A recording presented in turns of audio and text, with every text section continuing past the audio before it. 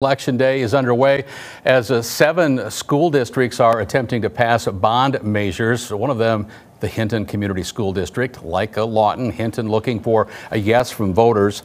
Uh, at last check, about 250 folks had cast ballots, but that was from the middle part of the afternoon, so that number certainly has gone up.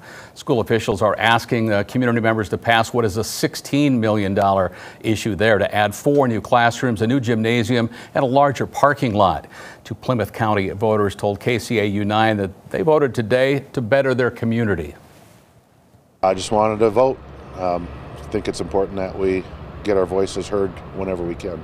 We just need to support our community and help our community to have more growth and have have more people interested in moving to this community because you know we take care of our schools.